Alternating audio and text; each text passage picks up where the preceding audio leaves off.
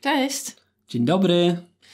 Witamy w nowym wideo. Dzisiaj będziemy gadać tylko, żeby było szybko, ale żeby też było ciekawie i dlatego wybraliśmy temat, który sam zasugeruje, zasugerowaliście w komentarzach nieraz tak naprawdę, ale chyba dwa dni temu ktoś, nie pamiętam niestety kto, ale ktoś zasugerował jeszcze konkretnie ten temat, a mianowicie nasze rowery. Co o nich sądzimy? Czy teraz kupilibyśmy inne rowery z doświadczeniem, które teraz mamy? E, no i coś takiego, nie?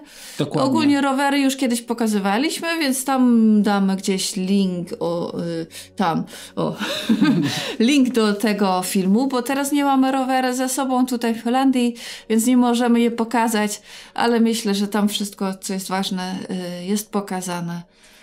Więc, więc tak. Ty, może... Dorenda, zrobiłaś już jedną przesiadkę w swoim życiu y, z roweru y, takiego powiedzmy bardziej me, miejskiego, który miał trzy przerzutki. Mhm. Y, Dwa. Dwie, tak? Dwie, Nawet dwie. dwie tak. Ale już na tym, rowerze, na tym rowerze podróżowałaś choćby na Białoruś. Tak. I przesiadłaś się już w sumie można powiedzieć na profesjonalny rower wyprawowy, rama amerykańska, firma Shurley. Mhm, Shurley Long Haul Trucker. Tak. tak. No więc jak możesz tą zmianę ocenić? Czy jesteś zadowolona z tego roweru? Ja jestem bardzo zadowolona, tak. E, no, oczywiście dużo lepiej się podróżuje na rowerze, który ma, e, ile tam mam? Trzy razy 3 9, razy 9. nie? 27 przerzutek. Z czego nie wykorzystuje się oczywiście 27 biegów. Ale jednak y, zakres jest dużo większy i, i, to da się zauważyć, jak, y, zwłaszcza jak nie jest płasko. Mhm. Nie, no to jest ogromna różnica. Poza tym, no to na tej ramie ta, ten rower ma dużo lepsze hamulce. Można zamocować na przednim widelcu bagażnik, więc można brać więcej bagaż, bagażu za sobą. E, więc tak, nie no, oczywiście to jest, jest lepiej. Dało się podróżować po płaskim mniej więcej terenie na tamtym rowerze, ale, ale jest lepiej. E, I ogólnie myślę, że ja kupiłam ten rower oczywiście z myślą o podróży do Azji, którą już od dawna chciałam zrobić, ale, ale też myślą o tym, że to nie jest tylko dla tej podróży, do tej, do tej podróży, tylko po prostu, żeby mieć dobry rower do podróżowania na resztę życia. Yy, więc yy, tak, w takim celu pod, prawdopodobnie kupiłabym podobny rower.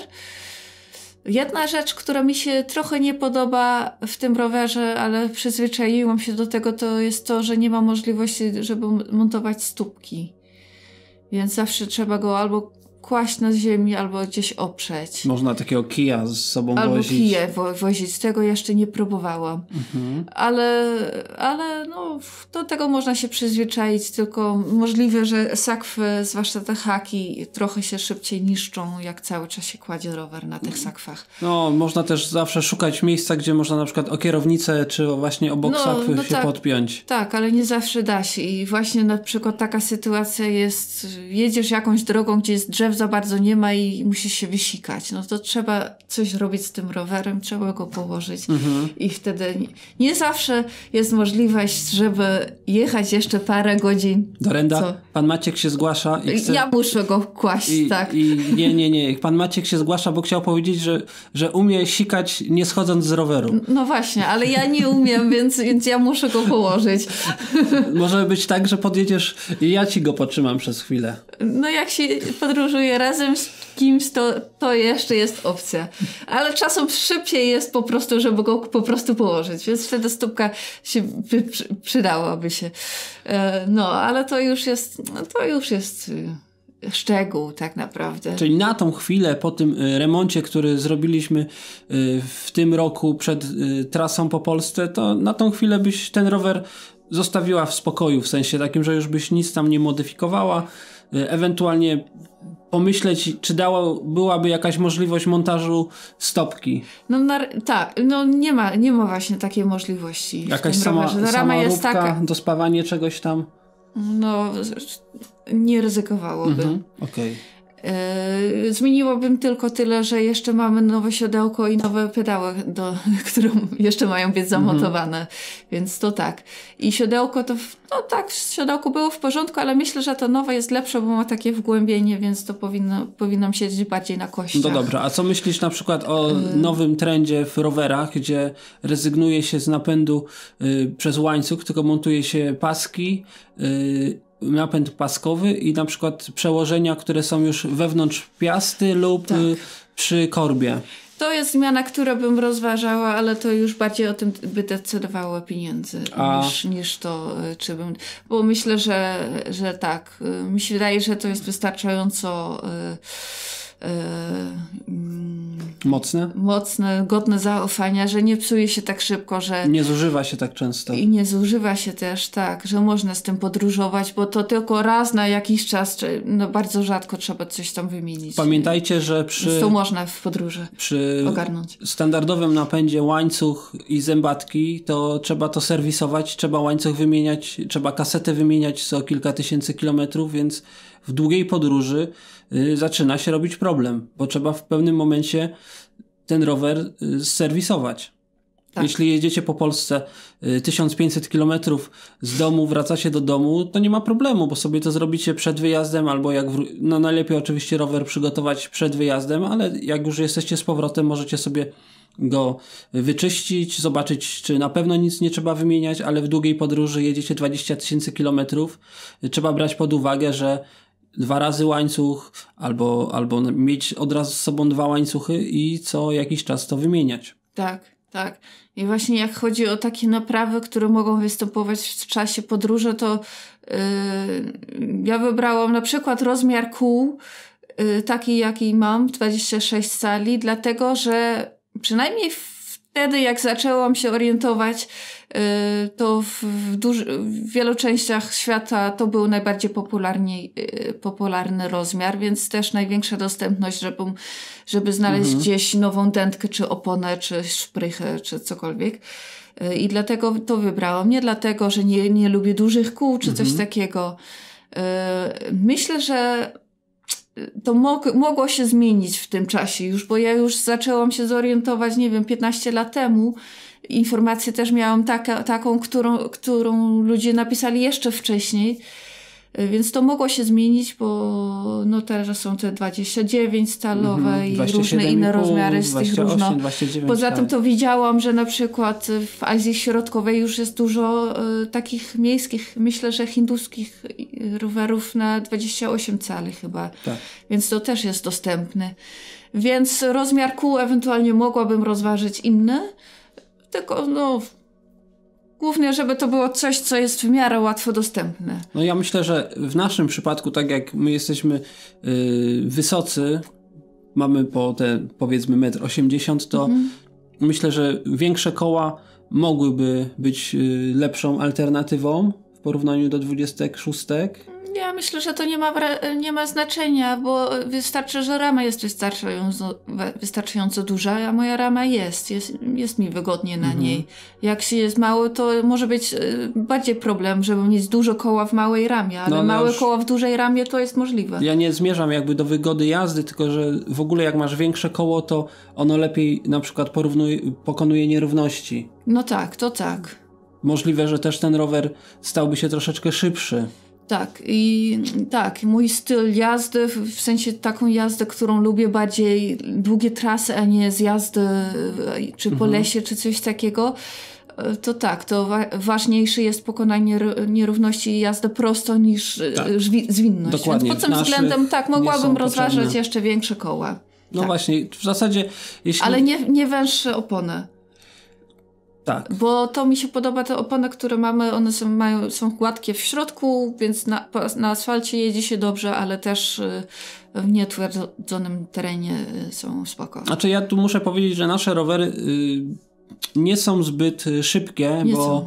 mieliśmy porównanie też choćby teraz w, w tym roku w Polsce, że parę razy ludzie też z sakwami właśnie na, zazwyczaj na kołach dwudziestkach, ósemkach i na troszkę węższych oponach nas na asfaltach oczywiście wyprzedzali byli troszkę szybsi, ja nie wiem, o 10-15%. Natomiast już w takich warunkach azjatyckich, gdzie bardziej się jeździ po szutrach, no to większa opona, gdzie masz na przykład już teren bardziej grząski, piaszczysty, szutrowy, to szersza opona jest lepsza. Tak. Jakbym miała kupić rower tylko yy, powiedzmy do podróżowania po Europie, czy może po Stanach, gdzieś tam po drogach, długich, po, drogach, tak, mhm. to bym kupiła szybszy rower i lżejszy na pewno, mhm. tak. A teraz też czasem to by się przydało, ale no nie można mieć zawsze wszystkiego. Nie?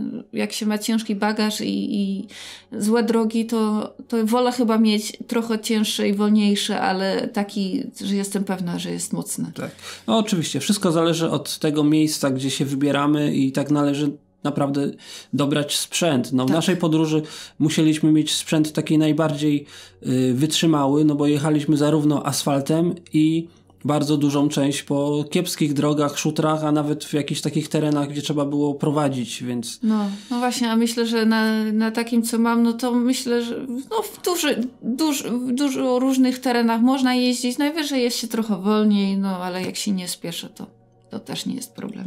To ja jeszcze może tylko dodam, y, generalnie się zgadzam z tym wszystkim, co mówi Dorenda. Mój rower jest jeszcze starszy, bo jak pewnie wiecie albo nie wiecie, to jest Trek 850 y, u mnie chyba już ponad 20 lat, gdzieś to kiedyś liczyłem, nie pamiętam. Oczywiście przeszedł różne modyfikacje, wymianę osprzętu, także w miarę jest dobry, w miarę się na nim wygodnie jeździ i jeśli bym ja miał zmieniać, to właśnie chyba bym y, poszedł w większe koła.